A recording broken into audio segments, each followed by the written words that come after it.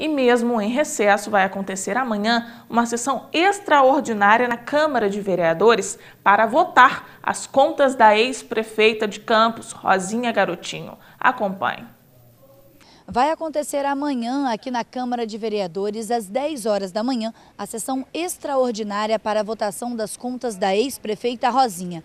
Para reprovação, são necessários nove votos pelo parecer do Tribunal de Contas do Estado.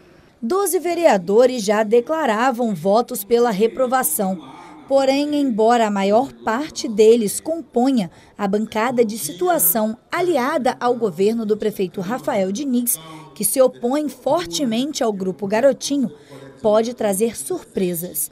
Isso por causa dos compromissos assumidos pelos partidos, que podem fechar questão a favor ou então contra a reprovação das contas. Com mais de 100 páginas, o processo soma outras duas mil.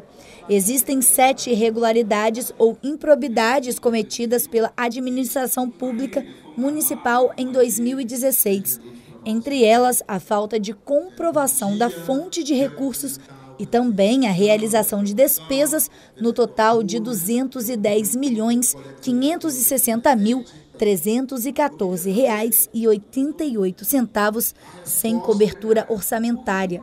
Foi constatado também um superávit financeiro insuficiente para cobrir a abertura de créditos adicionais Outro ponto questionado foi um déficit financeiro no montante de mais de 200 milhões ocorridos em 2016, término do mandato, indicando o não cumprimento do equilíbrio financeiro.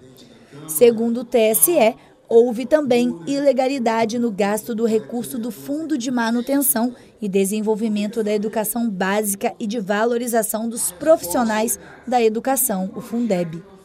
E a defesa de Rosinha nega que tenha havido irregularidades e afirma que a Prefeitura de Campos, sob o comando de Rafael Diniz, prestou informações incompletas.